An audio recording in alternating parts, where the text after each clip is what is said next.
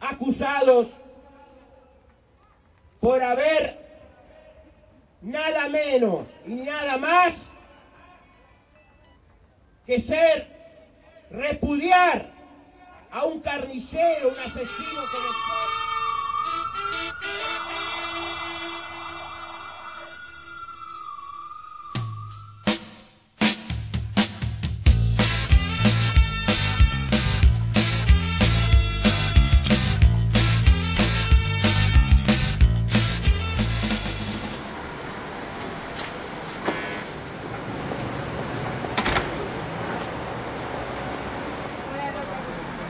poco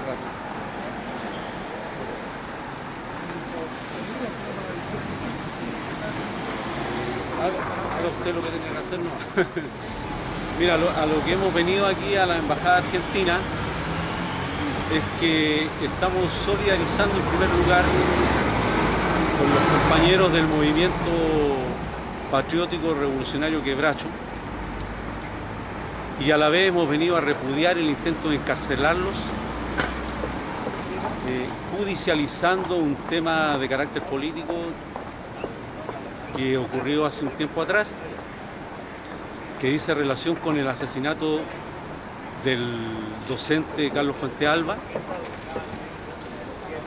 a manos de Sovich y nuestros compañeros, nuestros hermanos argentinos fueron a, realizar un scratch al, al local partidario de, de Sovich. Estos intentos son una arremetida que no solamente sea en Argentina, sino que sea en América Latina, contra los dirigentes del movimiento popular que luchan por justicia social, que luchan por transformación. En este mismo proceso, los jueces que han juzgado a nuestros hermanos son jueces que están relacionados con diferentes delitos, incluso algunos casos con la aceptación del robo de bebé en Argentina, o sea, claramente vinculado a las violaciones a los derechos humanos. Sin embargo, a pesar de eso, esos son los jueces que juzgan a nuestro hermano por ir a escrachar un asesinato. Obviamente los asesinos de Carlos Fuente Alba están libres. Nosotros vamos a insistir en este tipo de solidaridad, que es una solidaridad, latinoamericana.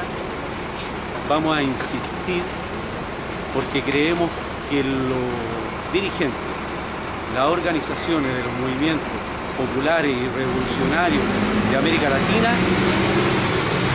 tenemos la obligación, tenemos el deber moral de estar con cada uno de nuestros hermanos.